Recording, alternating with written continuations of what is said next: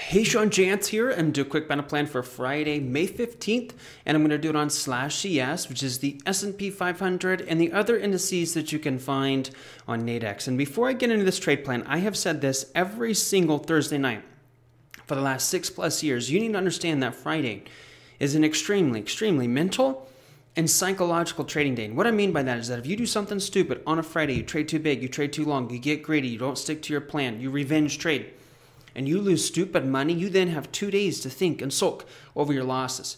And if you've been doing this for any amount of time, you know that this game is 70 to 80% mental, and you can't do that to yourself. And so Friday for me, and it should be for everyone else, it's a light day. The good news though is that I actually there is actually some really good structure. So I'm still gonna I'm gonna go through this really quick because I still see opportunity. Uh, but typically on a Friday, my favorite quote is "When in doubt, stay the hell out." And so first thing, start here on slash ES. You can look at the bird's eye view. We got oversold. This market actually in the London session got oversold, came into this demand pocket. Bulls saw, bulls saw value and they surged pretty much the whole day, right? And pretty simple, just a cycle back up to the upside. And what it did basically is just cycled right back into this two week range, which is a good thing.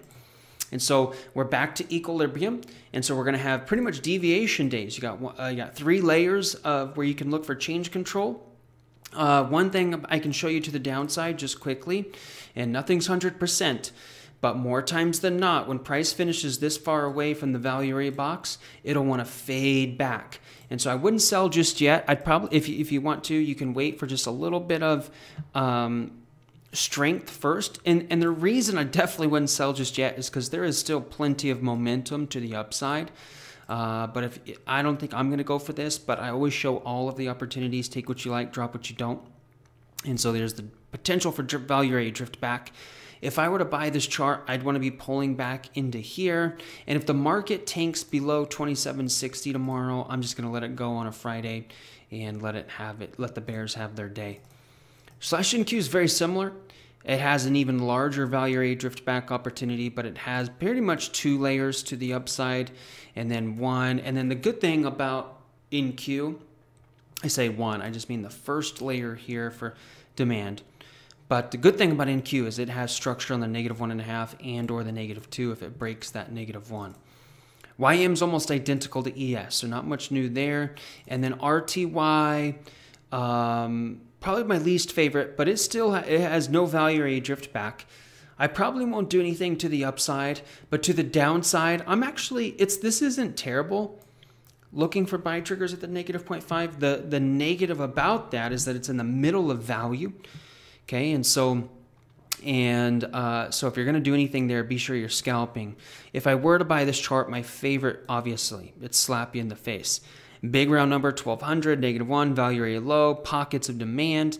And then you got the negative one and a half right there. So this one's probably my least favorite chart, but there's still opportunity. And so don't forget, we also have deviations on the three major Forex pairs. We have deviations in value area on gold futures. And typically we have deviations in value area on crude oil futures as well. But it is rolling over. And so I'm not going to do deviations or value on crude. It'll be back to normal Sunday night. So uh, message me or Ryan Smith if you have any questions. Make sure you're taking pictures of all of your trades. Use the four step trading process. post the bird's eye view, the worm's eye view, and the trade stamp posted in the Trader Tribe so that you can get feedback from me and from others.